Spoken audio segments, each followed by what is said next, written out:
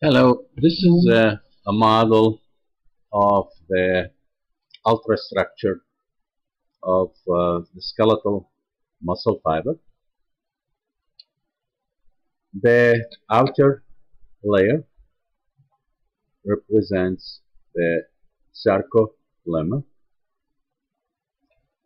The yellow network represents the sarcoplasmic reticulum of the muscle fiber. The red structures represents the mitochondria.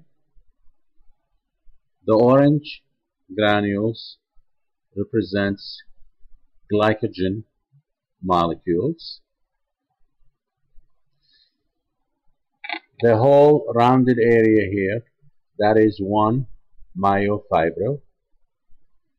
The larger diameter dots in this view represents the thick filament and the smaller dots in this view represents the thin filaments.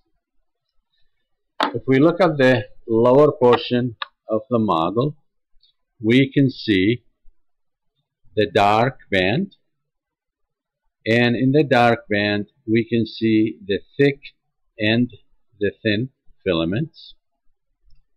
We can also see the light band and in the light band we can see only thin filaments.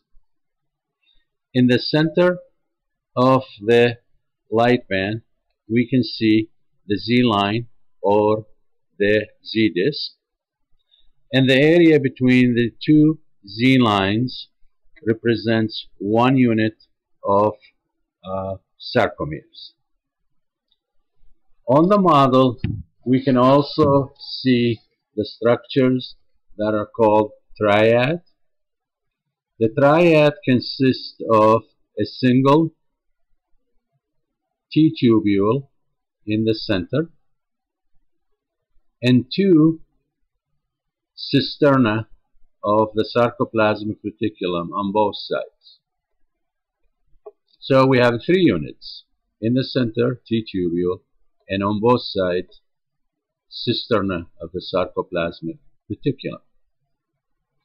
The T-tube T-tubule is part of the sarcolemma.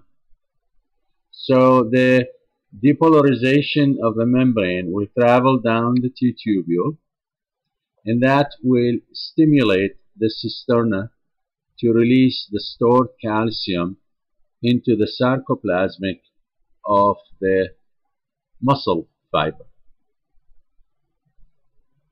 The mitochondria and the glycogen granules are involved in the production of energy that is required for the contraction of skeletal muscles.